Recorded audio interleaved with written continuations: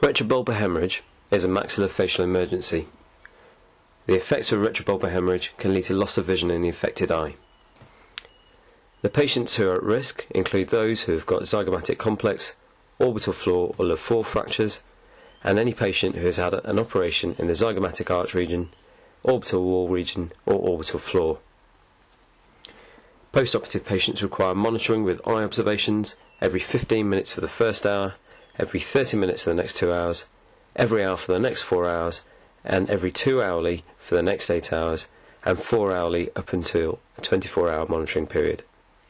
These patients should be nursed at 45 degrees, and patients with any fracture in this area should be instructed not to blow their nose to avoid orbital herniation.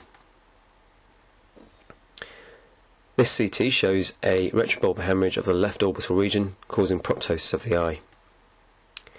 Cardinal signs include increasing pain, proptosis of the eye, reduced light reflex or a fixed pupil, paralysis, poor or deteriorating vision, a tense or a hard eye.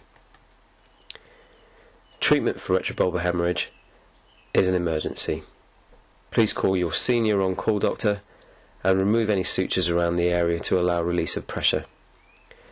Management of a retrobulbar hemorrhage will include a surgical decompression via a lateral canthotomy, and an ED personnel may need instructions to perform this as an emergency to prevent deterioration or loss of vision.